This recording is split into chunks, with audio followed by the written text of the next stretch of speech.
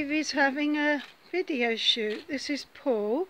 I think she's doing quite well, isn't she? She's doing very well. Yeah, she's quite photogenic. You're a good girl, aren't you, Evie? Yeah.